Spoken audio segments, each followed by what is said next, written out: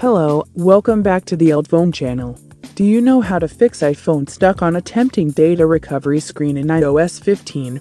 This situation usually occurs when you use iTunes to restore or even reset. Your iPhone will be disabled for a long time. And then read to try data recovery, your iPhone may even get stuck in the attempting data recovery screen for several hours. In this video, I will show you three ways to fix it.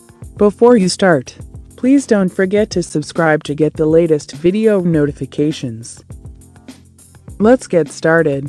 Fix 1. Switch network. The cause of this situation may be network problems.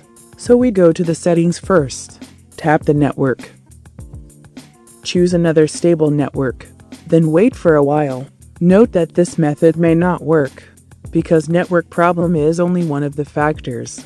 If it is still stuck, try the next method. Fix 2. Force restart. I believe many people like to use this method. Sometimes force restart can solve many small problems. I will show you how to force restart my iPhone 12. Press and quickly release the volume up button. Then press and quickly release the volume down.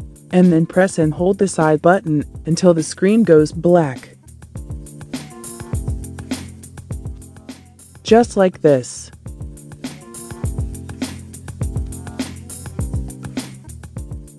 You will see the Apple logo up here. Normally, your iPhone can return to the home page. The success rate is very small, and I am not sure if it will work. But don't worry, I have prepared a method that works 100%.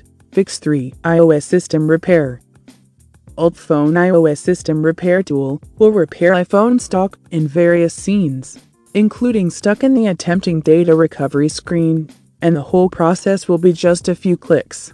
Let's see how it works. Download and launch Phone iOS System Repair on your computer. Then connect your iPhone. Switch back to Phone iOS System Repair. Click the Start button. Here we choose the Standard Repair, which can repair your iPhone without losing any data. Download the firmware.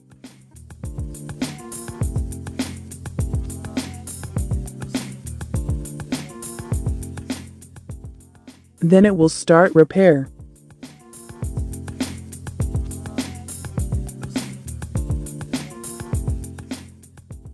Great, it's completed.